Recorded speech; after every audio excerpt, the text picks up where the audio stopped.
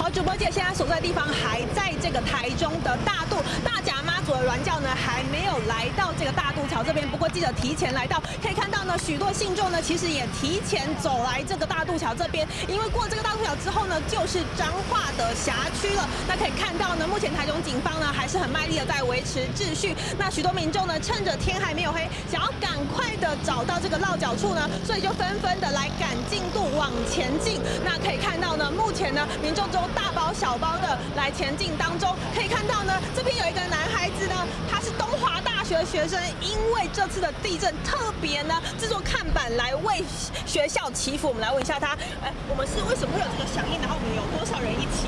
呃，因为我们前天学校会发生这种化学火灾，然后因为在资源不足以及防灾的考量之下，我们没有办法进入火场去抢救这些实验成果。那其实二十年来的这些实验数据就已经付之一炬。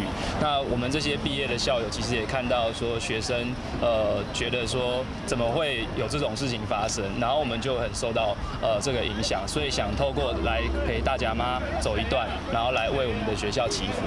对，然后大概有我们有后面有五六位同学会再来接这个呃砍棒，谢谢。我们大概是分配怎么走？呃，就像我今天是走完第一段，至少到南窑宫，然后后面再看学弟妹他们的状况，可能就会走到这个下再分天走。最好的状况就是九天有九个人这样子，我们一人走一天。对。那我们现在是几个人？我们现在目前有六个人，但或许人数还有机会持续增加。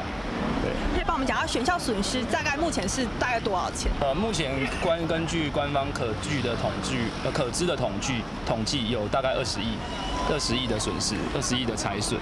那我那时候收到的讯息还在十亿跟五亿之间。对。前校方知道你们这个就是这这个响应这个活动？有有有，学校其实有知道。那因为我们在路上也遇到非常多的校友、乡客，还有呃社会各界的大众，都给予我们非常大的鼓励跟支持。对。那有预计，就是我看你行囊蛮少，有预计要在哪里落脚吗？我呃还不知道，但就是走到我不能走为止。对，我所以我后面就会有写一句话，就是那个。番薯唔惊落土烂，只求枝啊代代大。就是希望番薯即便落到地板上，它也可以重新的长出枝芽，浴火重生。对。你刚刚有说一人走一天嘛？那可是您可能是不是会走更多呢？呃，我希望我可以，但我会尽我所能。对。走到我不能走为止。那我们是从哪里来的？然后是怎么做这个交通工具？呃，从台北，然后再搭火车嘛，然后到大甲。其实一出大甲的时候，我就觉得已经到了绕境现场。然后从大甲开始，呃，绕起驾之后，我们就一路步行到这里。大概现在已经走了五万六千步。那大概等一下会，我估计到呃南窑宫的话，大概是六万步左右。对。